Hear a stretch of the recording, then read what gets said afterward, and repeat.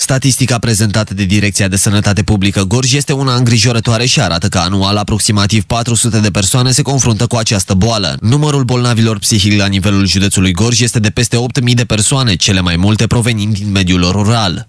În cursul anului 2013 au fost înregistrate 415 cazuri noi și au fost luate în evidențe, iar per total 8039 de cazuri. Uh, din aceste cazuri, uh, cei mai mulți avem în mediul rural, 4217, iar în mediul urban 3822. Iar în ceea ce privește uh, noi intrați în evidențe, din nou în mediul rural avem 241 și 174 în mediul urban. La Spitalul Orășenesc Turcen funcționează o secție care tratează bolnavii psihici cronici. În acest moment, în cadrul unității sunt internați 88 de pacienți, însă numărul lor crește în fiecare zi.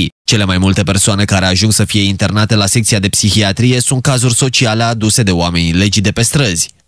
În momentul de față avem 88 de internați la secția psihiatrie. În ultimele luni am avut în jur de 95, în medie de 95 pe lună. Acum am mai făcut așa, am încercat o triere. Secția are o capacitate de 100 de paturi fizice, dar noi finanțate de la Casa de Asigurări avem doar 73. Este un număr mare sau un număr mai mic în comparație? În anii trecuți au fost și mai mulți, pentru că și paturile au fost mai multe. Care este am procedura?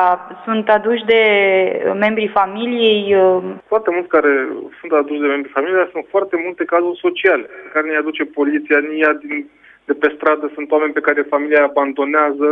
În medicina de specialitate, o persoană devine un bolnav psihic atunci când nu se mai acceptă pe sine însuși sau pe alții, când are o preocupare excesivă pentru propriul corp și propria persoană sau când pierde contactul cu realitatea retrăgându-se în propria lume.